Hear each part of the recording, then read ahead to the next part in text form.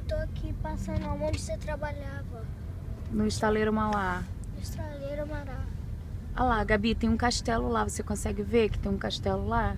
Gabi, Não. Eu já fui naquele castelo, Gabi. Já foi? Eu vim a uma, um lançamento de navio. É muito legal. Olha lá, Estourou pai. champanhe. A gente tá, estourou champanhe. Foi o presidente Lula que. Acho que foi o presidente Lula na época que. E você, Gabi? Gabi, olha lá, mostra o vovô. Fala ao vovô que você tá passando em frente ao trabalho dele. Oi, vô. Eu tô passando frente do seu trabalho. É, Eu queria pra ver. é, ela veio aqui. Olha lá, olha lá o Rio de Janeiro, Lucas. Olha lá o Cristo lá em cima, ó. Eu sei, eu tô vendo. Tá vendo? Você viu? Eu sei, porque eu já passei nessa ponte com o tio. É, o você já passou nessa ponte com o tio.